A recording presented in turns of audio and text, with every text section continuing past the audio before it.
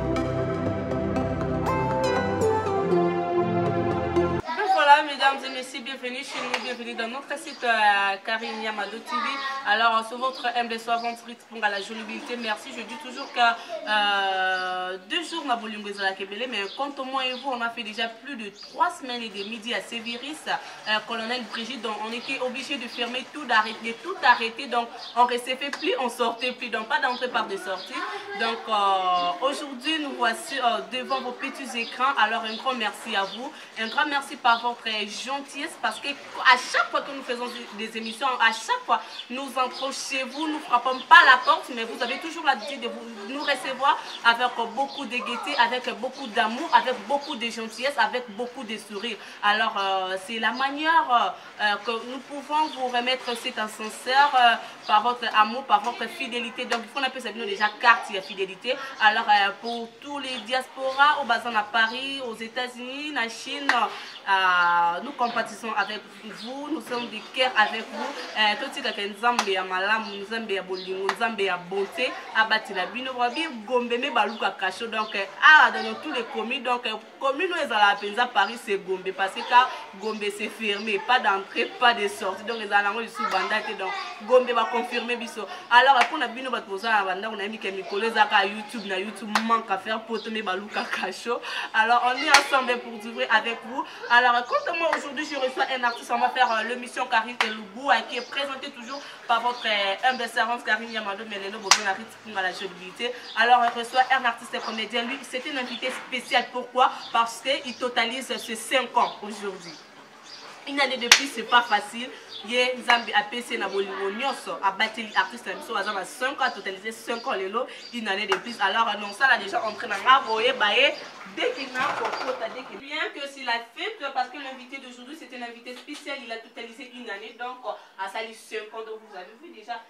son invité déjà oyo ayaki déjà aza deja bien soile malgré bavirus ye déjà ntango deja na epa bato babi pas de fete mais ye ayaki pas de sortie pas d'entrée mais ye akoti alors il est bien soule donc comprenez c'est une façon de tele makambo mais na compte ya karine euh, karine karine karine elubule bogaboni Mais ça va. alors c'est le président masuaku qui a totalisé à 5 ans Mm. joyeux anniversaire Merci. oseka lisusu te 6 ans oyekela gato oza na kanda nango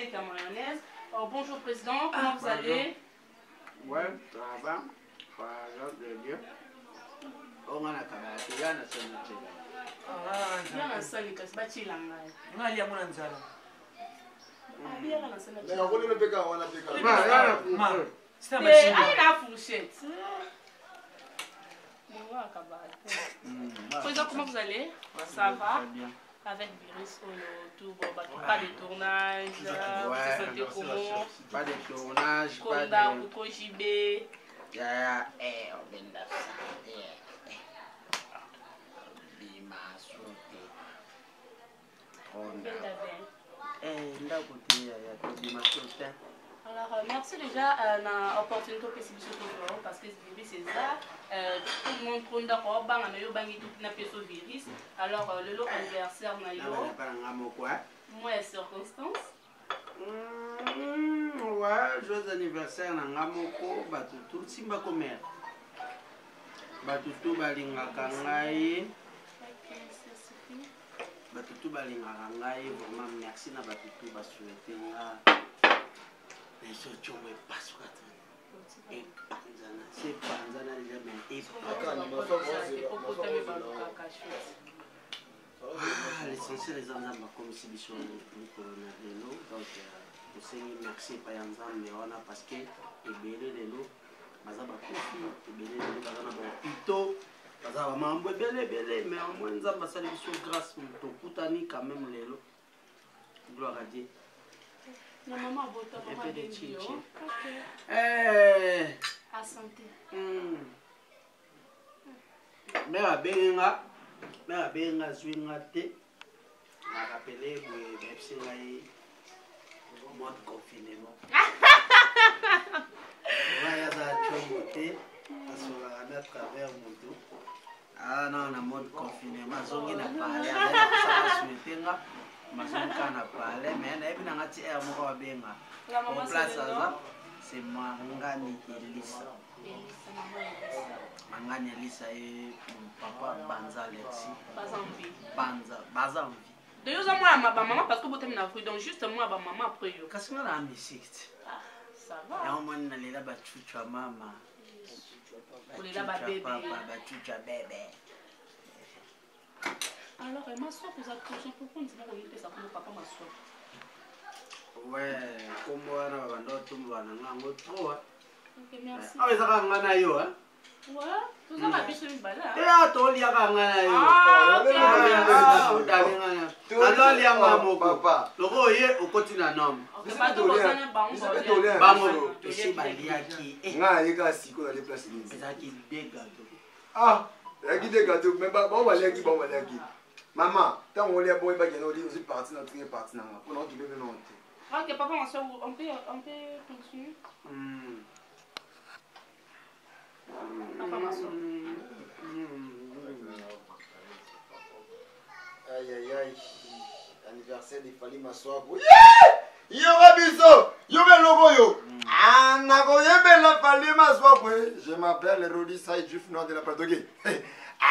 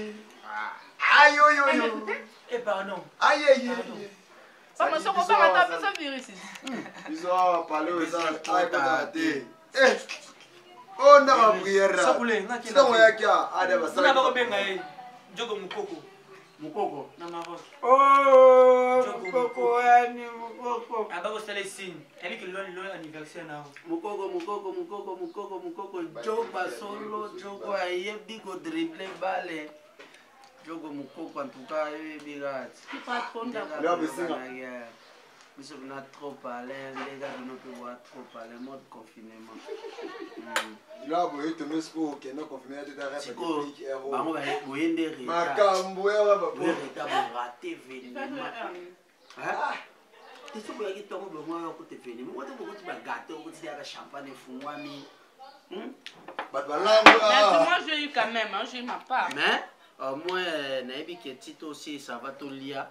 nde na kolamba ntango tokolia ava tolia au moins kofongola so champagne olambaka deja wana mama kusa me nde tan ezalaka te tan nde ezalaka lelo naokepe na bayombe nazonga na bayo me naluka ye mocambo donc me mocambo pena mawa plein ah, na pondwa madesu hmm. sakasaka madesu sakasaka madesu na loso yango na fufu ekendaka te sakasaka madesu na fufu ekendaka te poisson de la mer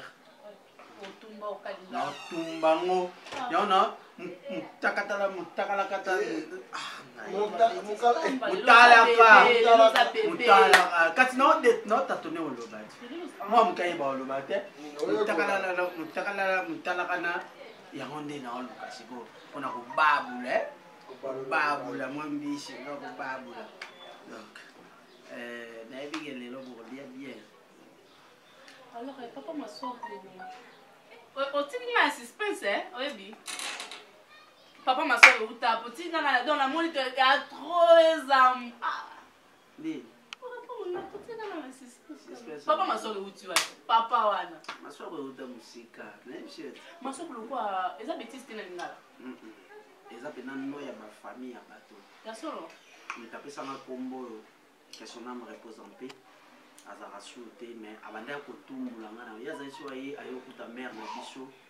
ngai naza ta obela mangani bengela ngai nano mwana na yo maswakwaya baviaka to bazalaka babayaka tro naza sikoyo na place moko eza référence ya komelaka il faut ava kota ndako nefaleka wana biso sikoyo ezali bongo bien que na banda o fâché na banda osilika mais et après ntango nakomobeta tonalité nakomoluka soki okomba wapi yanga anatanda bamasta tu bayebaki nga deya nakomba maswaku mposo obengi nga maswaku na veni nde ezali tobunda oh. nando olinga kombo yango te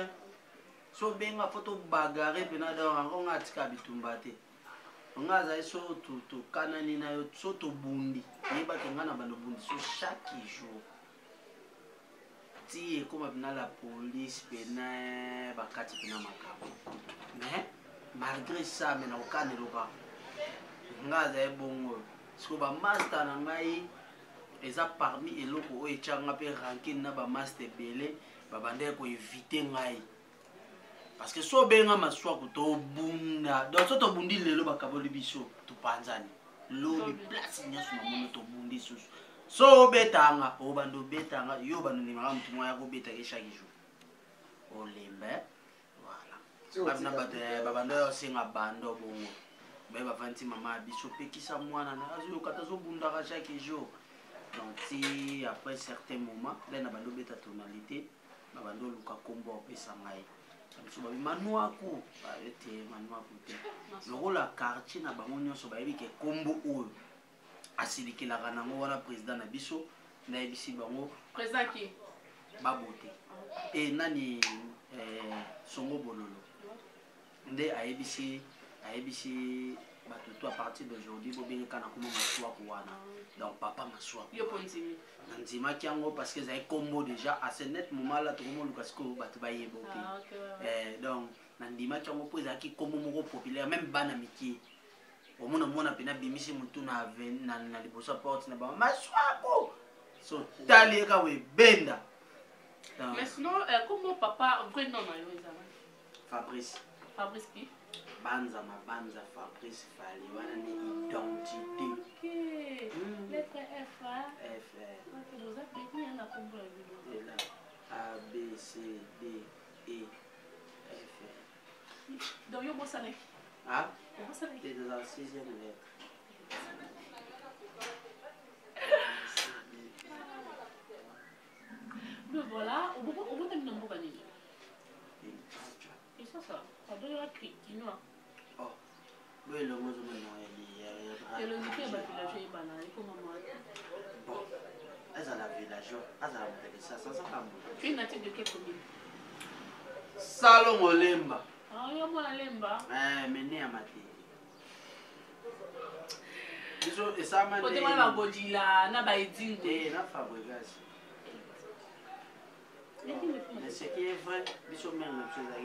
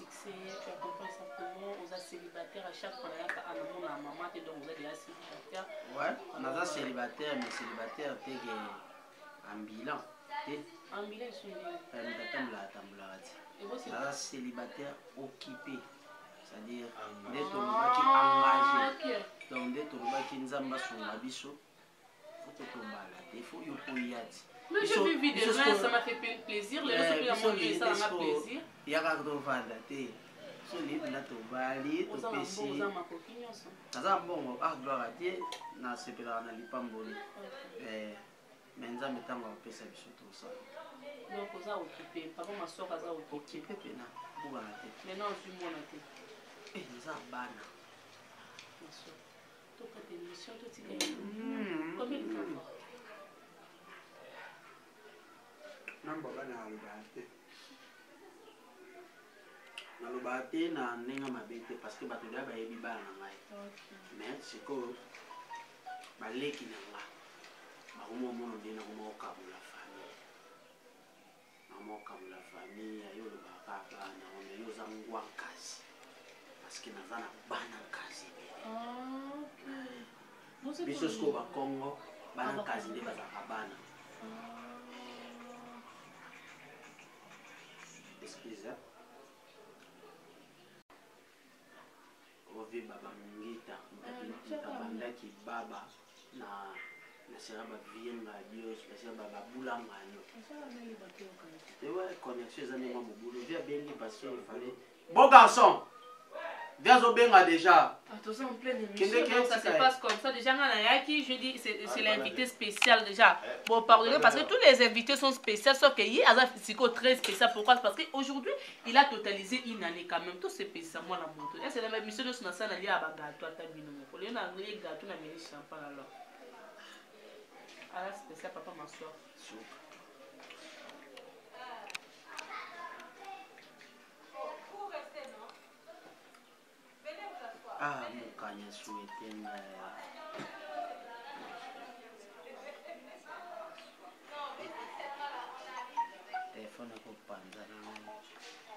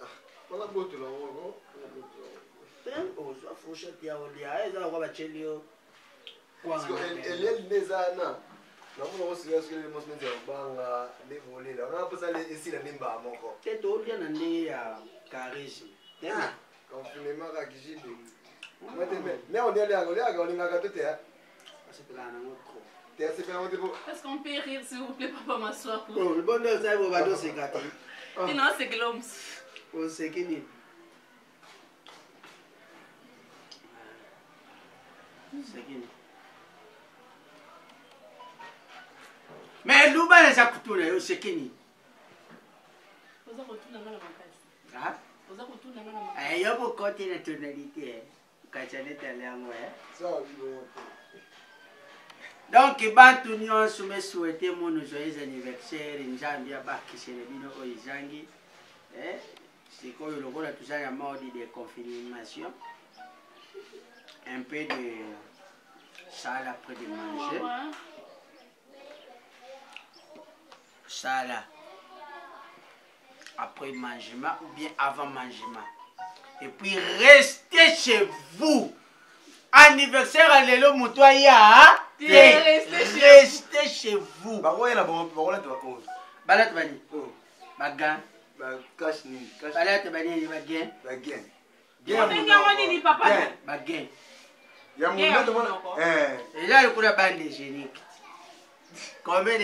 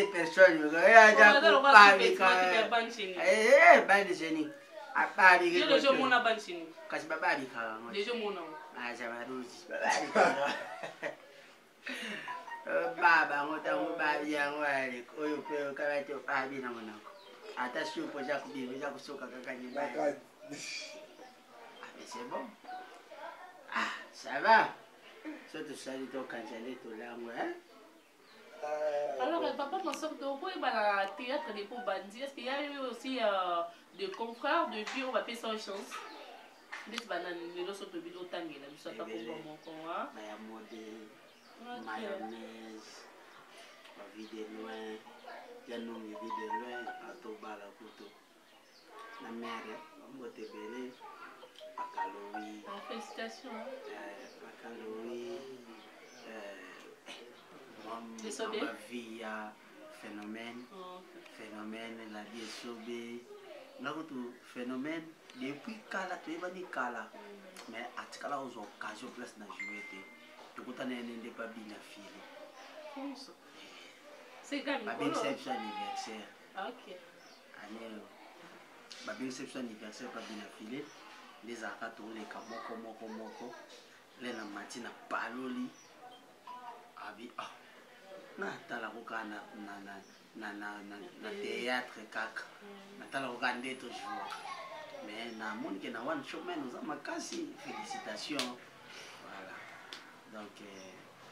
wana baza na ba perle monstre d'art chico pululu azalaki banda olekisa mpena ntanga na mama vie ya presque tous les artistes bapesanga chance ya kojoue basondi ya tamaniata bato to bato to bato to epuis moto oyo apesanga mpena chance susu ya kotombola lisusu nkombo na nga ive lubamba top vision papouche donc euh, bambote ebele place aza na mare na balifanto na palais nalela bino fort biso toa na top vision toza koa babana liboso toa babana liboso donc nde toza bana liboso boye ata bana mosusu baye mais bino biso ozaka bana parce que tokende ofutela eh, tobimi mpe toke mpe tocreye mpe biso mpe papa esasali biso ti biso mpe tocreye me ndako ya papa abosanaka te pofo leka to meka loboko hmm, donc voilà ivre lobamba top vision raissa donc euh, bino tout bambote ebele équipe technique tout bato tout ya top vision nalela bino fort mais na ndenge ozalaka na bango na ndenge ozalaka na ba na moni ntango obandaka na bato parce que c'est pas pour la première fois na ya awa eh, famille na yo mama na yo to mpe batalaka a chaque fois ozalaka déjà déjà na mama no na oko ozwa déjà conseil nini mpenza remarque nini mama bino asalaka yo ayebisa ngai naza mayele me eloko ayebisa ngai moto azalaka na bato nde moto nzambe apambolaka moto ayebaka mpasi ya moninga nde moto nzambe apambolaka l'argent pele l'argent so oza mabo makasi nzambe apambola miso ya loboko pete nzambe apambola yo donc faut boyeba kolia na bato so oyebi kolia na bato ekozala bien parce que moi même je passé na makambo ebele na batemps difficile ebele naleka na bandako ya bato voilà donc aujourd'hui je suis ce que je suis par la grâce de dieu et moi aussi je dois accorder les gens bazwa chance wana po lobi mpe bango mpe bazala bato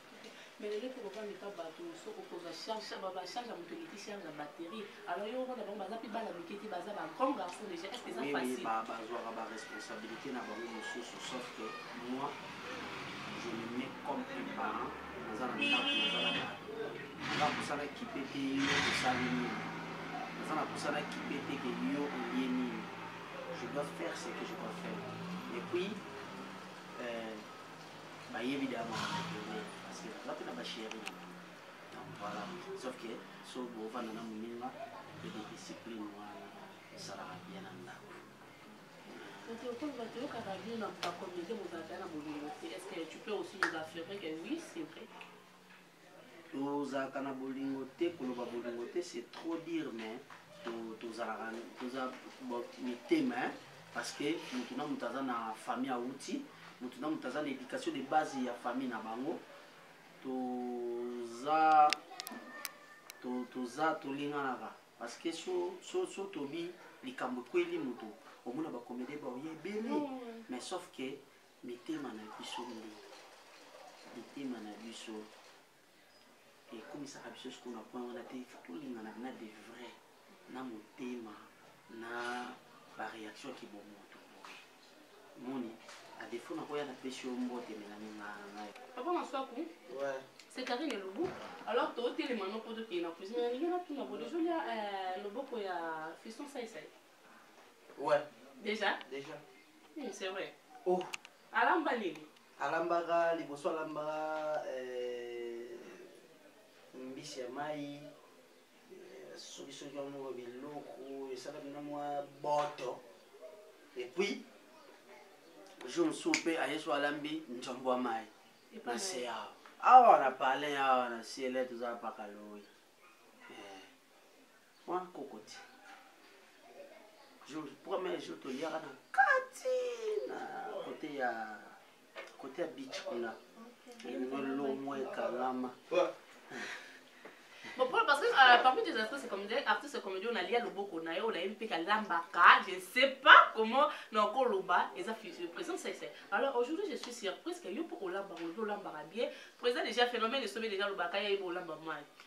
bobo idem jorvi idem ye alambaka ka adi te nga banda olamba loso mafuta na kala banda olamba loso mafuta me telema sikoyo na vandi vandi mpe kote ya ya, ya bato ebele oyo balambaka bamama leki baconnaissance ba, ba bato ebele ebele namoni monimoni mpe mwa trop siko ngai nalingaki nazonga na ngai na mboka na biso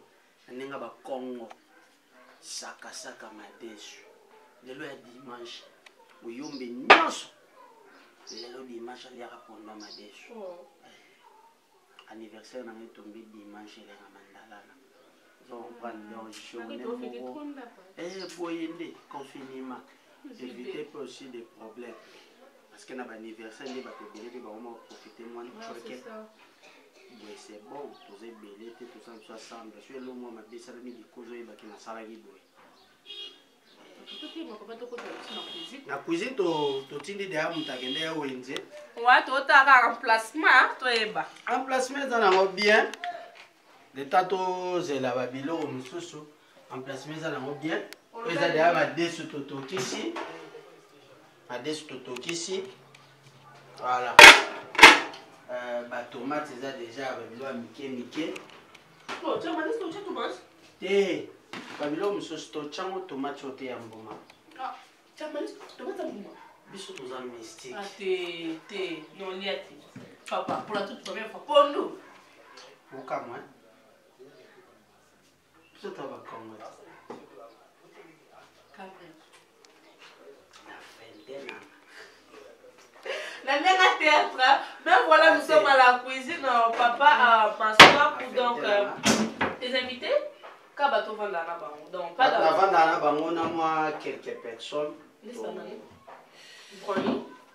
bwe tobenga bongoli toza ne pembeni tobenga pakalowi paoya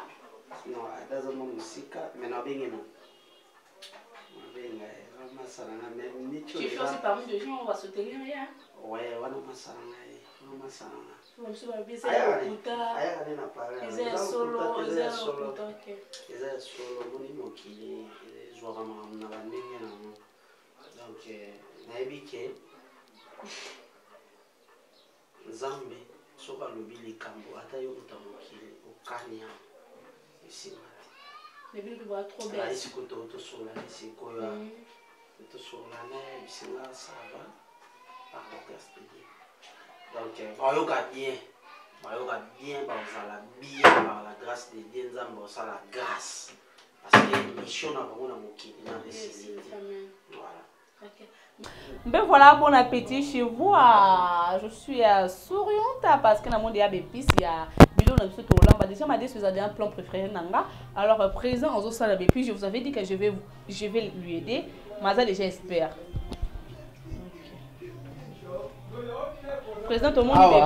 awa nazosala ba ai oyo etraitaka mpe bamaladi ebele eh, nazosala ba ai natya baepisi mopanzi après kotya baepisi mopanzi nde na nakozwa nzungu na ngai ya madesu oyo eza madesu nzungu natokiselaki oyo eza nzungu ya propre nakozwa madesu oyo nabalusi yango awa oke na tya na pondu na biso pondu na biso yango donc lelo tozolamba pondu ya madesu me madesu otokisaki yango ndenge nini otyaki bepise ou bien non bepise non natyaki kaka mungwa esili epuis mwa litungulu akosa aleka na esprit kaka etya mwa ncunga eh. baotokisa na bango madesu mwa apesa kaka mwa ncunga me a ah, namoni matungulu eh, ndembe eleki eh, matungulu na ebele pourquoikondo madesu esenga fo ndembi ezala ebele ndembi ebele mpena donc oyo oh, nyonso omono ekokota Pake mais yo olamba chamalise na huile. Te huile te. Oh, mafuta mbila. Eh. Ma mafuta ya bwala donc eh. ata osalelaki mboka lelo eza dimanche bayombe nyonso bayebi ke pondo ya madeso eliamaka dimanche surtout elenga mandalala donc tolia mandalala eh. me namoni ai ai osali ai eza mpona suzine malena suzine nini poisson de la mer poisson de la mer wana eza mpona poisson de la mer bakibi maje eza eza mpona poisson de la mer toboyi nde osalela bango publicité eh, bazosolola te bazosolola te bato ya kibe maje tosala kibe maje ya mado bamatungulu oyo nakokata yango nsima nazotya yango nono mibimba boye mbeli na wana ntango wapi papa boyela biso mbeli ah, okay. mais président tomate ezobangisa ngai tomate osala nini toyo ozala eh, poison eza nango provision totyaki mpo na quarantaine ah, ozombelaka eh, trois tomate baai mpe eza awa donc tosombela tomate somi mwa loso mwa nini un peu de provision alors na lingana yeba biloko na biso tolia yango na nini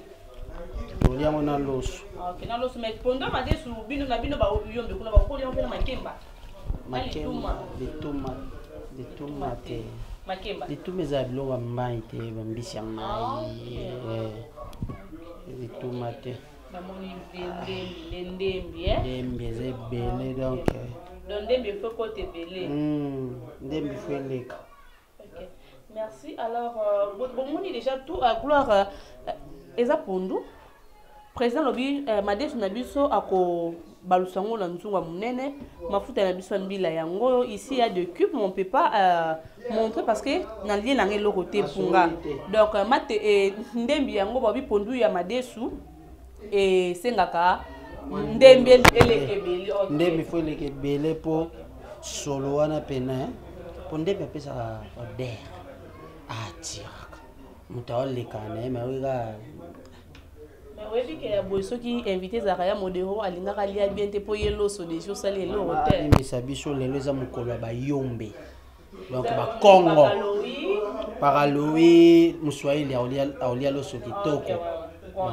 branli akolia epuis mwa quelque invité mpe bandeko na biso mpe ya groupe banini na mwa barelation mpe oyo toyebani na bango donc voilà Okay, bon appétit euh, chez vous. Alors, euh, tout à la dengue, bon, ça la bépisse na biso. Donc, euh, Tout est clair, hein? j'espère que vous comprenez quoi. Mais voilà, je suis toujours à la cuisine alors. na bandembi boye ndembi faut contrôle yango bien mpo bamatiti mpe ekotaka oya olia matiti ya oya olia matiti ya coronavirus pa ah, voilà matiti akoboma birai ndenge hmm. moni yango eza ndeni matiti yango ya basendisende boye lokwa babale oyo tobanda kosakanela na kala ya bulu wana basendesendesende eh, makambo yango ebanda nango kala ah, mais eh, tosutuki na retard babanda oyo utilise biso baosala biso deya babale ya coronavirus bana na biso biso banda kosaka nango te omoi osombi bale moko eza basende sende sende sende sende otali dessin ya ya ya babenga covid 19 otali yango te ah, so otali yango omona faut sokola ndembi moko moko eh. mais namoni gag na yo te eh. gag no ya coronavirus je vis des autres eh, artistes mais ya yo namoni ezali déjà sauf que mikolo mwa lanterne na youtube eh. otuna ya mister siatula oyo alobi kongo ezalaka na reta ye kuta fashi makasi mpo ani virus ane banda ye aa te biso tozalaka na reta biso bandango deja bosani na ba décembre tosala ba fièvre ya grave bakosukusu ba grippe te eh, yaya tobelaka deya bamaladi na biso nayoyebi teke tobelaka bafièvre moto mpena ya makasi eh, tobelaka deya bamaladi na biso donc batika na bango biso toyebi ke nzambe alobi avant nabatela yo moko mibatela maladi ezali mais nzambe ayokelaka afrique mawa eh, nzambe nazalaka na ka na biso donc eh, satendre ke nde eza wana nzambe akobatela biso makambo oyo ekoleka nango na kimia ekosila mpe ka ndenge ebola esilaka eh, eh. ebola na virus na lingi eloko te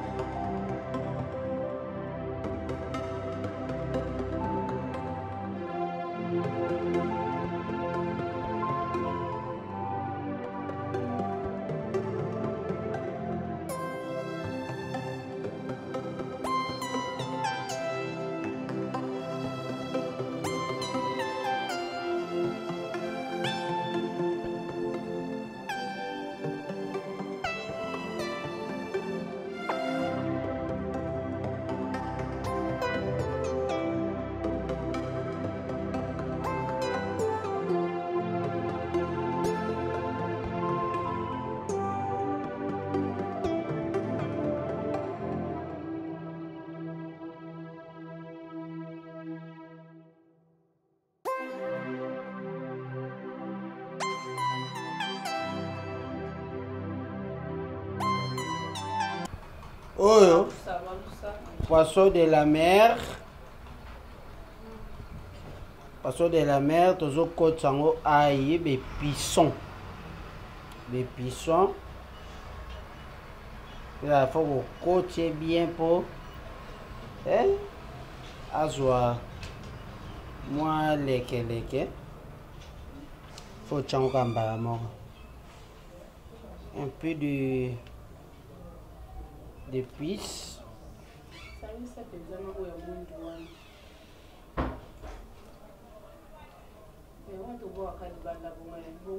Mm. Voilà.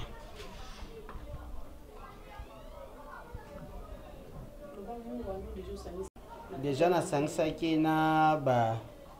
na ai na ngai ndembi ndembi ndembi kaka nde tosalaka a bato bayebangi baloba asangisi ai nde nini ndembi nde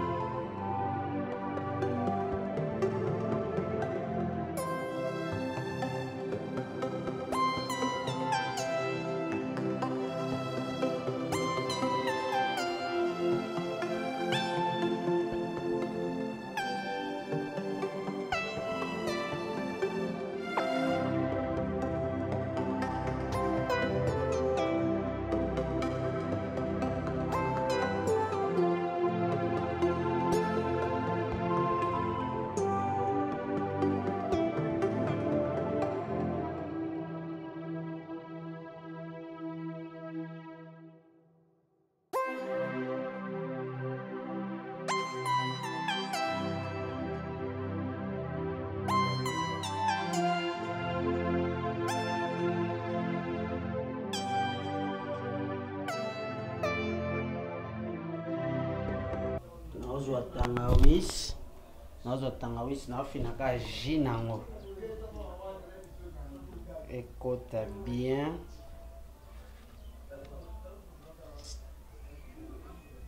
kaji eh, tozwi kaji mm. siko tozwi ji mpo na nini otye ji babisu mpe batyaka na tangawisi kani otyaki bongo te tozwi ji kaka mpo ji wana eza deja tangawisi eh, yoka ntina tangawisi nini ezalaka kitoko ka mai nango te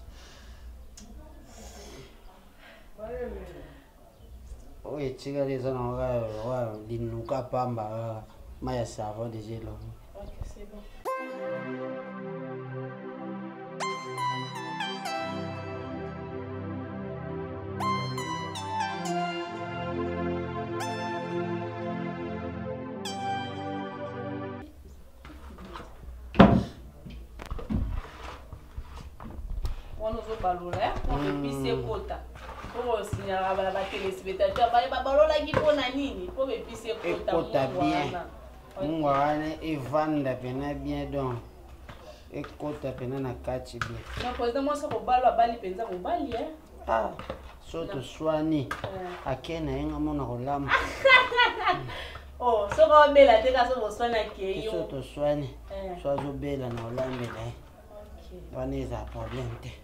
koswana nde moto ezaka problème wana so oyeba wala bato ozo raisonne asala na ngai voilà asko toke libanda oyo eza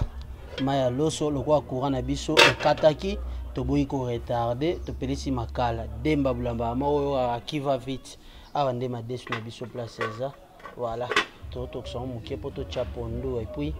tosala makambo nyonso.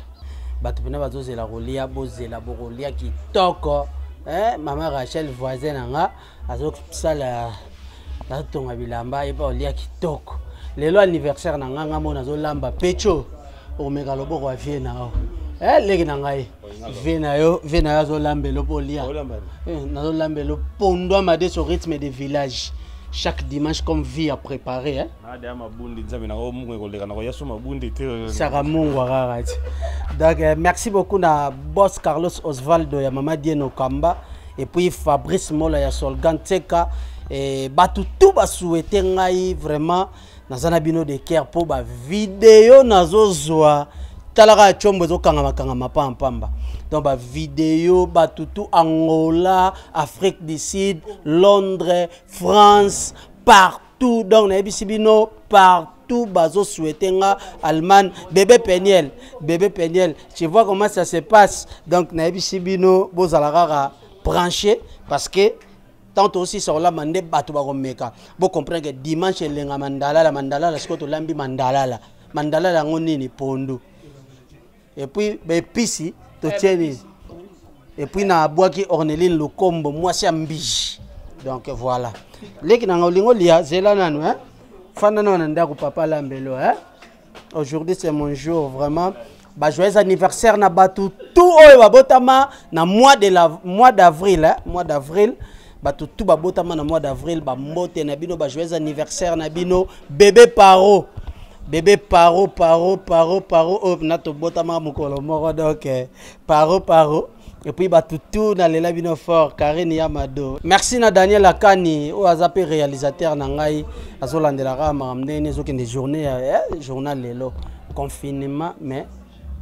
na esprit ya anniversaire toza na palin tozovivre kaka chez nous ici feti elekaka kaka na kati ya lopango na mwa deux invité to quatre mo boye kaka na système ya un mètre mais na kisasa tosokola kaka maboko epuis mwa gant casque casque babengaka lubrifiant na maboko mpona bokopaya biso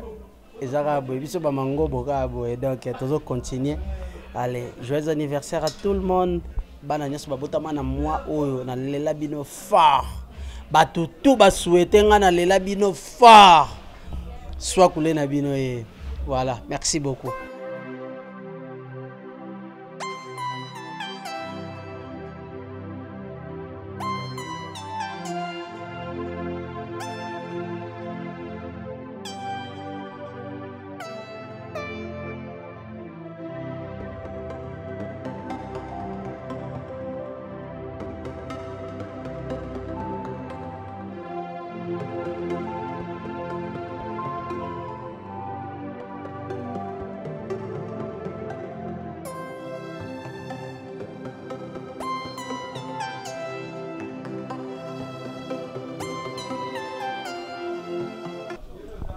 pondu pondu lokola mai eza ya moke ya madesu totiki mai wana etoka nanu lere ekotoka lere echange couleur après tozwi to baloli sikoyo madesu eye likolo pondu ekiti na se après totie mwa mai mokie etoki etoki etoki apres nde tokosoka ngo soko lifuta banini tututu donc euh, voilà donc euh, awa loso mpe deja ezokende nango deja totyaki donc kitoko makambo ezokende bien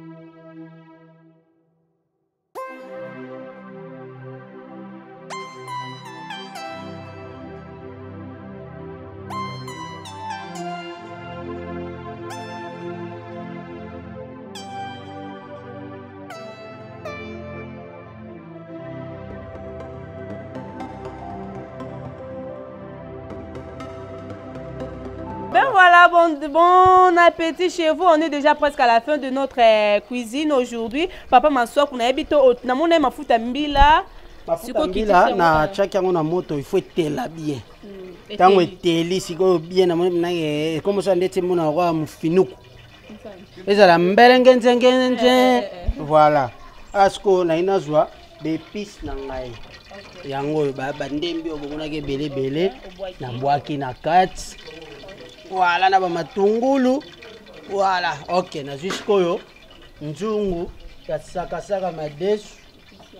nakiti na se nazwi sikoyo oyo baepice na nga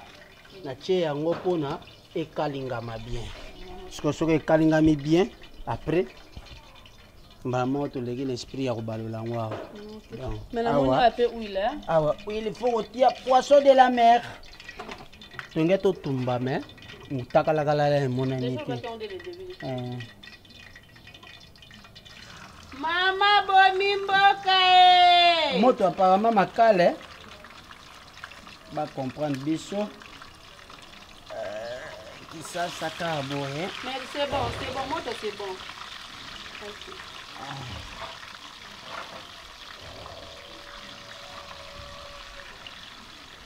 so moto alingi nalambela ye boye fo mbongo afuta ngai po eza mosala alors euh, Voilà. tozela donc tolia biloko na biso na loso na loso ok seke nga kolia na- kosabalala okotika na sisa mbaa moko po ok natiki yo kasi o- oservi biso deja na basani oservi biso loso otia na sani le temps tozela bapoisson na biso esala te so na servir bino deja loso mupepe te moto esila bato mosusu balingaka ye tozela kaka abela mbaa moko ale tosali une fois pour toute okay, merci. kitoko c'est pas moi adania baganga mama bomi mboka eh? te déjà mama bomi mboka toleke na étape wana président ah comédie te euh comédie te eh, eh président bokango bien ko papa zela mokie eh.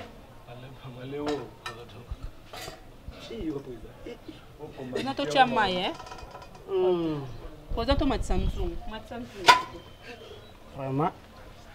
bacomprendre biso elambeli oyo nzambe na lola ezali olobaki olambaka ti Président totya mai moke awa ye nayede yo ata na mai nabwaki osampulili yango obwaki lisu likolo oexplike biso toremarke biloko na yango mpenza ekoti mai mingi te président hmm, ekoti mai mingi te mpo tosaleli mingi mai na yango moko mai nango moko lisu ndeni eh, kasi oyo yo olambela mai nangobandisa mpe nzungu yango bien te eh, mare eh. matoko evandi bien te matoko nzungu manini maswako avandi bien te maswako nzungu Voilà. Keba sikoyo tozwa mofenoko. Masoko njongo avandi bien te. Yo olobi ah mabe olobi ke eh, na mai na yango moko. Soko na mai na Natie te omoni tellement ni eza esprit nini? Natie mai mingi te mpo ezala ya bloke. Ah. Ya bloke oyo te oyo tokenda kolia ba poisson de la mer kuna. Oyo oh, eza na bloke. Donc ntango olia ntoli na losoko. Ezala bloke. pesa mwa me mafuta mbila eleki eh? te c'est bon oh, lere ekokota pena na kati bino oza ebele ti bino eza pena ebele donc zano kimia nano kimia banda nayaki depuis tomela ya champagne pema nano mela nano kevanda omela tika nano nasalasalasala omela nano soki ekomi pre ebela nde nabengi yo abengi bino a oyo ata nde elingi obela président alambala chapeau yaya yo melani mai mai eh? le temps tokokalinga boye na profite mpe nakipe bamare ya quartier banini confinement mais tozala na esprit d'équipe ah, ya kokaba ata moninga amela ata secret confinement okoti na lupango ya bato oyo bayebi ke yo star na bango basololaka on ne sait jamais so sisi mpe okobima mpe ozwi mpe témoignage libanda eh. oyeba nde nini toviva esala eh, bien mais président namoni okokita soki okita tokitika ensemble na yo wapi libanda eh, kasi zilete Ok, on a moni baye la présidente fourchette ou soit mbeli. Alors, euh, je vous laisse euh, déguster euh, gloire. Euh...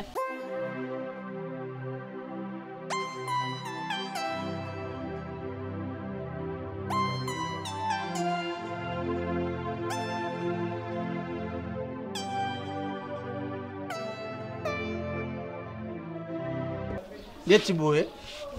pondo ya madesu ezotoka avant nabalola ekita mokie soki mai ekiti après na baloli nde mai eza nano ebele boye moye na balola eza te donc tokangi damage awa na tanda tozokalinga mbolongo mm, esprit de mbolongo donc tokalinga na mbolongo oyo oh, nauti olongola oyo oh, naobalola donc euh, bientôt là vous allez manger euh... avec le bras de papa soit coulé Eh, c'est mon jour. Hein. Les bras Tout dépend. Le bras de papa soit coulé, ça dépend, de moi. Et je peux dire les mains. Et si je ne vais pas les bras. Et si je ne vais pas, c'est les coups de pied.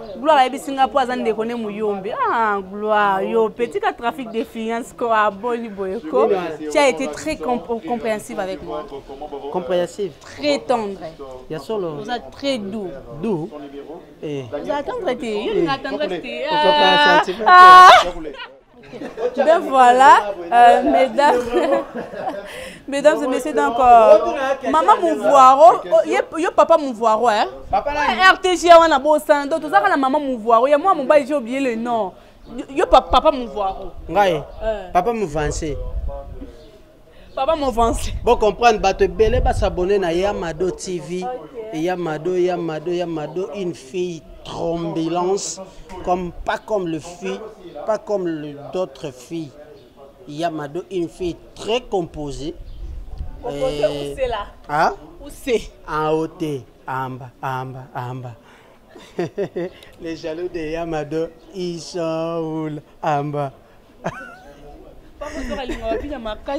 Marie Lelo Kouré, ça il défaut, le monde, il n'y aura pas la musique. Hein? Non. To, eza, to, eza na problème ba phase. To na ba problème ba phase. Euh, to eza na phase moko na kati. To cha musique. Obina. Nga. Oh, na bini trop, na obina na nga.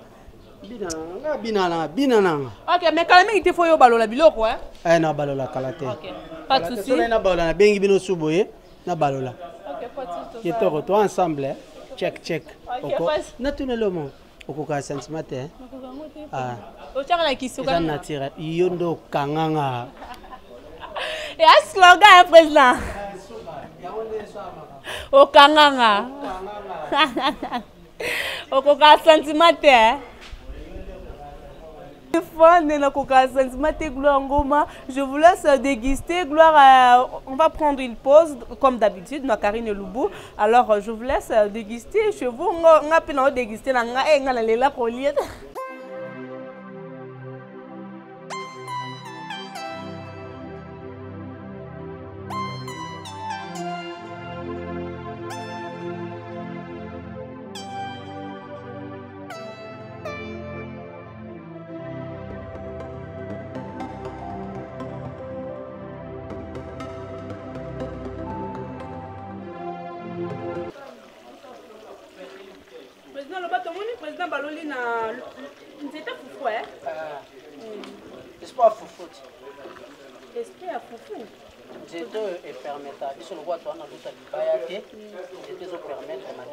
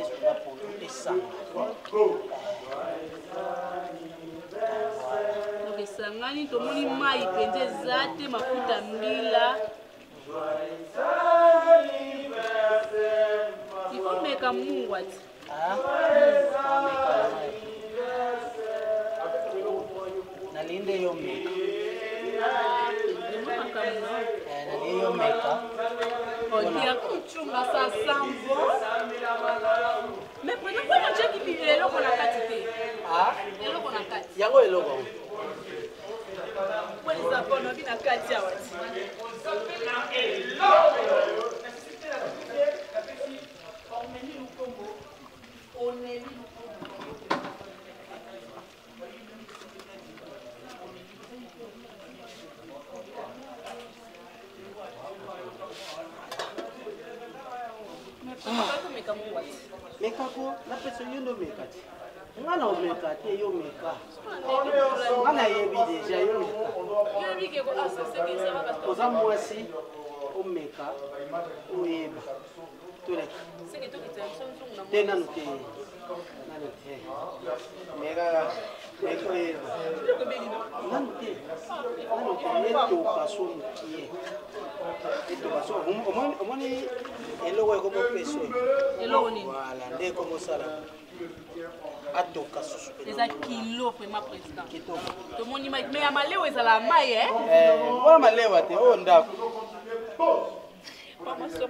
wana malewa oyo oh, ndako tolamba biloko ya ndako tolamba biloko ya malewa te voilà nakobi fo etoka aye etoka moke après tokitisi ah, meka ko mais munga yo boyo meka nga na meka déjà yango na meka toza minoko mibale nga meka déjà yo meka toza minoko mibale ah? lelo oza bebe ifo osala makambo ya bien nga bebe te naboya nalobaka o mungu ekoki me anatanda bino lia bolia bobi mungu ekoki te yo mpe meka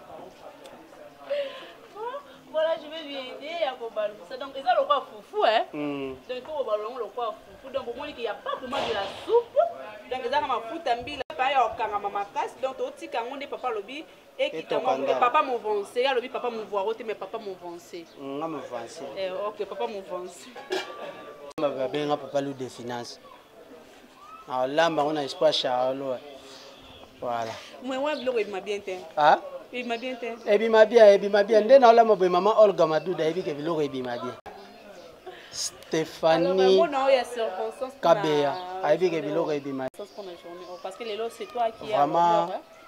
Journée spéciale pona ngai et puis euh, merci vraiment nazosenga merci na bato tout bazwi temps na bango ya kokota kokoma na clavier et puis kopense mpo na ngai vraiment ça va droit au cœur bato ebele nayebisi yo ke mokili mobima nde eswete ngai hmm. monde donc naloba bamboka nyonso na babene nayebi bato kuna te benin bacentrafrique donc nayebi sio ke bato basuete nga côte d'ivoire donc nayebi te na comprendre ke bato balandaka biso bato mpena balandaka biso epuis bato bazolanda maswaku tv po soki babanda olanda maswaku tv te je crois pas donc bato mpena bazolanda biso merci beaucoup que ton âme repose en paix eh, elakisi nde bongo sorry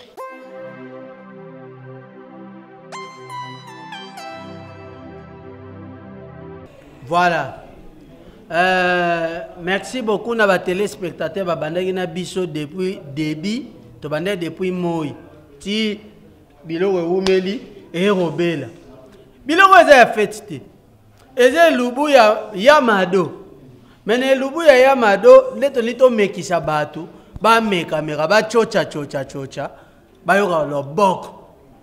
ya feti te toka o nde olinga mona oservi bato ozwi mwa cweke yoka kaka gu fefeli oyoki mwa gu evide Donc, euh, bon comprendre, biso eza fétité, parce qu'on va fêter avec les orphelins. Donc, ah, eza fétité. Voilà. Euh, na Robert on a liste. Bon, bon, aider ngai, moko moko yaka, basani ya mbele eza, na servi bino. kotelema no bozala acte ok nani akoyede afongo aede ok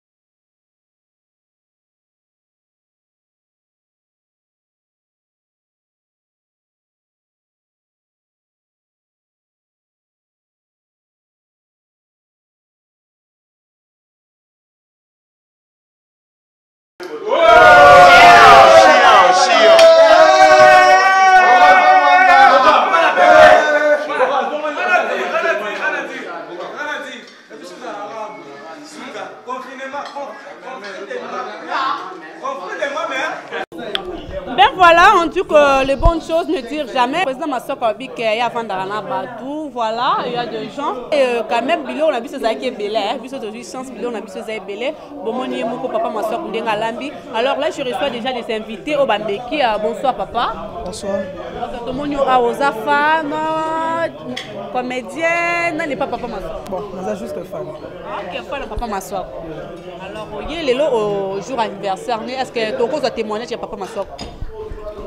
Bon, avec euh, Papa Maswako, on a sait plus. Avec Papa Maswako, on a mutu malamu, on a mutu malamu, bato nyonso, yango yango namonaki yango namonaki journal lelo na pasango na ye Tu viens de manger, ye moto alambi, oza na idée Comment tu as trouvé le repas Alambi oka mwana mwasi. Ah. Donc comédie na oloba papa masoko olambi na bien mais il y avait trop de comédie donc moyen oloba eza vraiment te bonjour papa. Ah bonjour maman. Ok yo mpe ka fan na papa masoko. Eh nga mpe fan na papa masoko. Omeki biloko comment ça a été Ah, biloko alambango kitoko kitoko makasi koleka kuna mwa mwasi basirepa mpe ifo mona mafuta mbila eye komonana donc eh, pondu ya eh, pondu canga malesu balamba yango nde na poisson sebene makasi koleka kuna mwa mwasi lamba kitoko makasi ok merci Ok, Gloire, euh, on est là, euh, on est là, on est là, on est là. Bonsoir, papa. Bonsoir, maman. Bon appétit.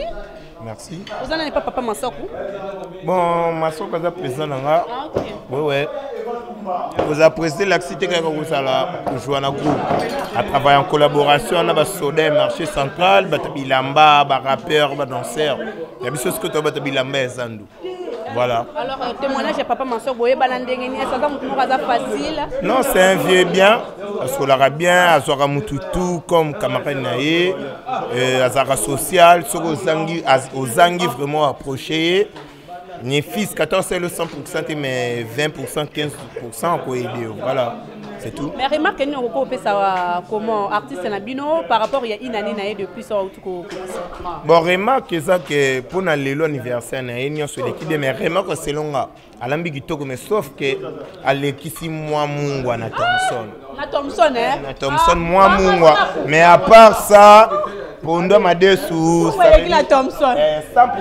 eh, mais thomson ndema sozinima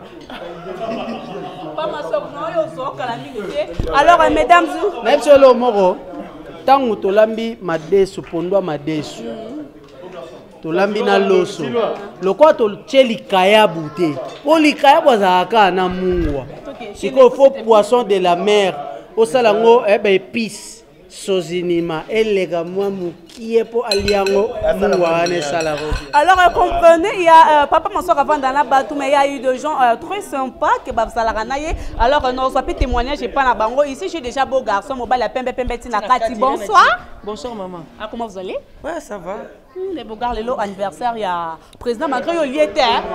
non nalie te mais naolia ah, esenga mpasi non naolia yango nde bandeko opose bakeso babi donc impeccable ti ela mama naza wana obe épice te ekota o mbisi nyonso naomona seke ezaka super alors remarque euh, na euh, nakokola balokwa artiste na comédien Ouais, président na ngai chef na ngai nyonso ya ngai grand frère donc défaut na ngai napesa remarque na télévision te malheureusement napesaka yango te c'est mieux napesa remarque na privé ki na télévision yango aza bongo bomonaka abakisa peut-être na carrière na ye ouais ya mabe oyo namonaka pa papa maswaku eh. ya mabe wana na aide yo kasi eh. naloba ngo ya mabe oyo namonaka mpa na ye eza ke alingi bato mingi yango mabe alingi bato mingi alingi kosunga bato mingi azala na mawa ya bato ya mabe oyo namonaka yango wana alingi kosunga bato mingi aza na mawa ya bato de oyo mabe oyo ngai namona pane yango wana seke te eza mabe a continuer kosala yango kaka a continuer kosala yango kaka donc voilà sikoyo joala na rola mayonnaise ya na moi donc nga naza bo garçon mwanza mobala pembe ntina kati malheureusement bomoni babengo ekiti moi kosala esala bosala bosala boconfinement yo oza confinement te oza confinement te olela ben nga na mwa nzambe ti otambola na wa alo kongo eza te alo eza te eh, napesi nzambe wana merci nde abakisi papa maswako une de plus nzambe abatela ye azala na ye abakisela ebele ebele oyo ezangaki babi so makambo eleki après papa maswaku akolia na, na baorphelin akozala na baorphelin eza message moko clé il faut boloba yango parce que so makambo eleki kaka ba